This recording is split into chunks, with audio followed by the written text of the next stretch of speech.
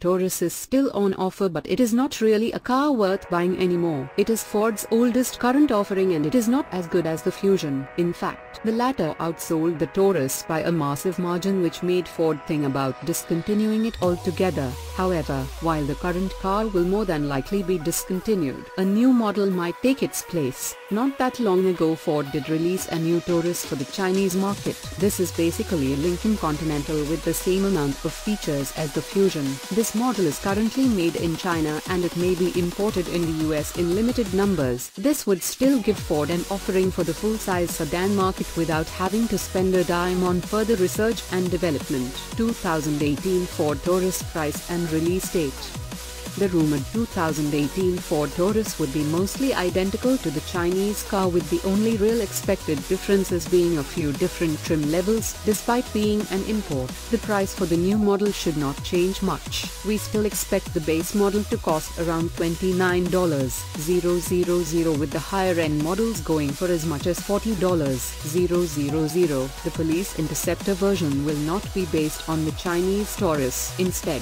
Ford is still expected to continue the production of the older model in the form of the police vehicle. There is still no word on the release date but it should hit the market by the end of 2017. The current model is a large and aggressive looking sedan with muscular lines and a muscle car feel to it. The new 2018 Ford